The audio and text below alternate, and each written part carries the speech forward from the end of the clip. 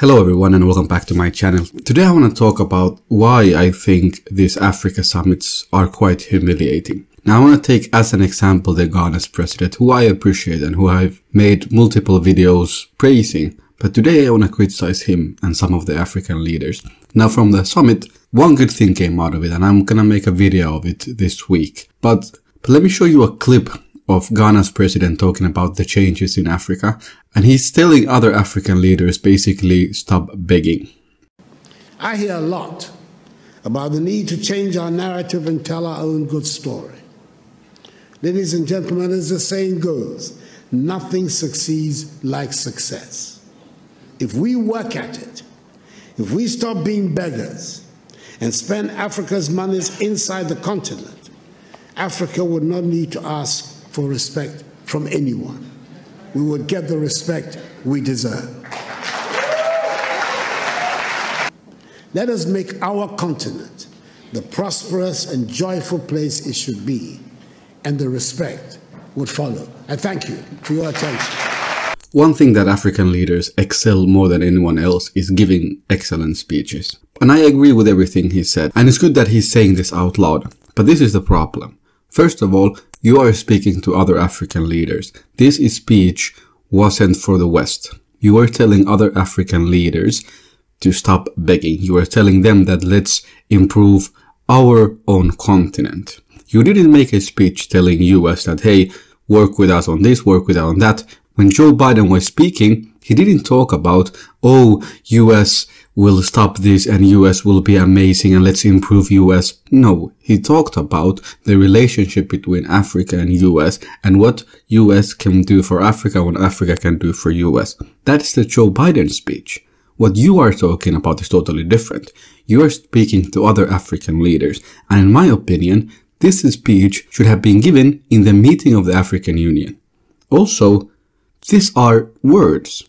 There are no actions behind it. What's your plan to implement this? So this speech should have been given in an African Union meeting. And another thing is that you can say that we'll stop begging. You can say that we're going to improve our continent. But this is the thing. Your actions speak louder than the words. All of these African leaders, about 45 African leaders, traveling all the way to US from their own continent to meet one man, to see what he can offer them.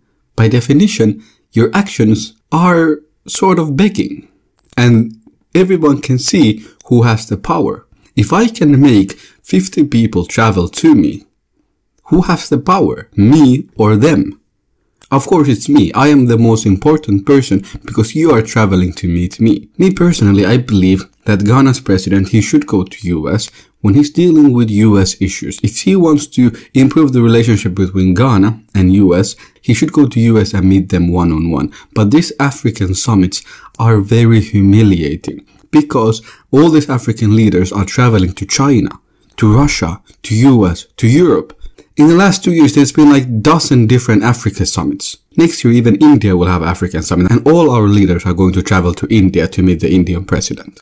It's humiliating. Why don't you do it the other way around? Why don't you have one Africa summit in the continent of Africa? I know it sounds crazy, but why don't you have an African summit in Addis Ababa where the African Union headquarters is? In Nairobi, in Dakar, in Cairo, in wherever. You can have it in different locations every year.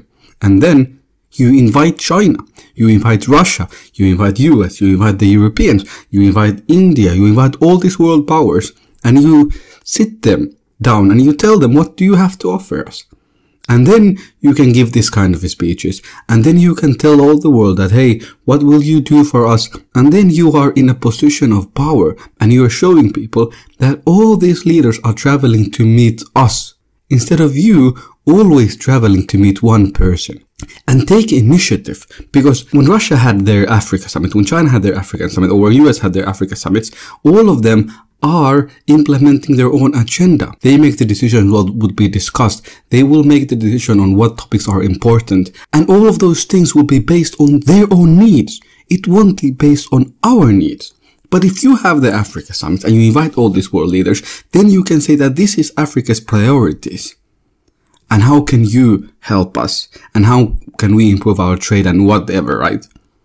But that's how it should be done. This is totally humiliating and your actions are showing weakness and your actions are very submissive to all these world leaders. And it shows the mental weakness that our leaders have. And they do not understand why they need to put themselves in the position of power. They should be in the driving seat. Now, all our leaders are in the passenger seat. But anyways, I hope you liked this video and if you did, please do remember to subscribe, like, share and comment.